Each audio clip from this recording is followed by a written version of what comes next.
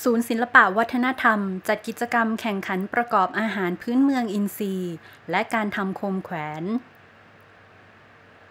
ศูนย์ศิลปะวัฒนธรรม มหาวิทยาลัยแม่โจ้ จัดกิจกรรมแข่งขันประกอบอาหารพื้นเมืองอินทรีย์ และการทำโคมแขวน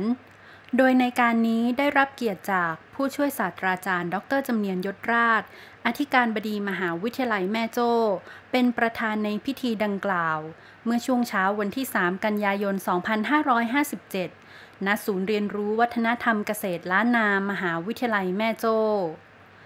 สำหรับการแข่งขันประกอบอาหารพื้นเมืองอินทรีย์ ได้แก่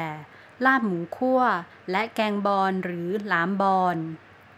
โดยมีวัตถุประสงค์ เพื่อเป็นการอนุรักษ์และสืบทอดศิลปะวัฒนธรรมล้านนา ที่ใกล้สูญหายไปตามกาลเวลา สนับสนุนให้นักศึกษา ชุมชน สร้างจิตสำนึกร่วมกัน ให้เกิดความภาคภูมิใจในภูมิปัญญาท้องถิ่น และร่วมกันถ่ายทอดวิถีชีวิต